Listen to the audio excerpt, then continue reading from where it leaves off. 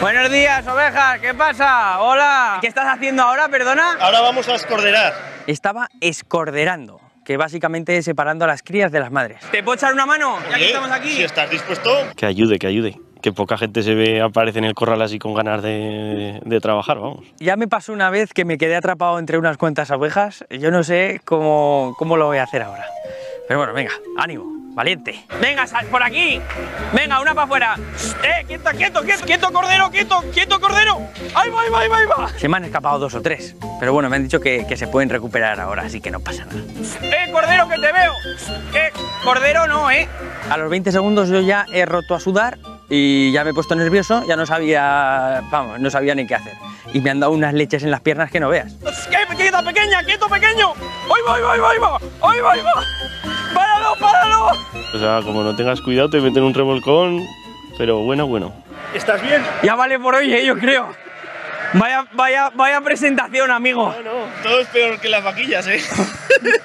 Ahora las lleva al monte y encima me deja acompañarle, con lo cual, al monte que nos vamos. Pues ahora, Javier, vamos a juntar las ovejas que estaban criando, que les hemos quitado los corderos con el, con el rebaño que está vacío en el monte. Aquí las junta con las que lleva su hermano y entre los dos hacen 2.500 ovejas, que se dice pronto. Ah, mira, mira, ya aparecen por ahí. Mira, el grupo 1 y el grupo 2. Si ya os conocéis y sois amigas ya... No lo había visto esto yo, ¿eh? Alan para reconocerse y... Ah, sí. Lo que hace es balar y entonces ya se empiezan a reconocer y ya se mezclan. ¡Hala, todas junticas! La verdad es que es una imagen bien chula. Eso es así. ¿Vosotros, eh, hermanos, Sí. os habéis criado aquí y eso? ¿O venís de otro sitio? Yo, mis padres vinieron hace 35 años ¿Y de dónde venían? de Monreal de Ariza. Mi padre vino aquí a ser ganadero y yo vine con un añito a San Mateo y mi hermano pues con siete. Pero yo ya por los veranos ya venía con mi abuelo que también era pastor. Desde los tres años venía, pasaba yo el verano aquí con ellos y lo acompañaba al monte. De hecho, me- esa afición me viene de ahí. ¿Y qué tal es esto de ser ganadero?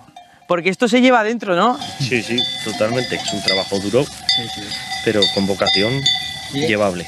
A vosotros os gusta. Sí, sí, claro. ¿Y a los pequeños? Por eso sí, claro. Hay que empezar de pequeño, por eso los estamos empezando ya.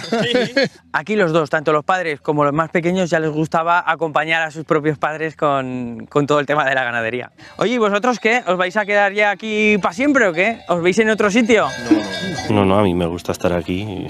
Ahora no lo cambiaría por nada, vamos. Es un entorno rural donde los niños pueden crecer bien y tenemos las comodidades de estar cerca de Zaragoza también. Total. Qué mejor sitio que, que el Monte y San Mateo de Gallo. Oye, ¿y tú qué prefieres?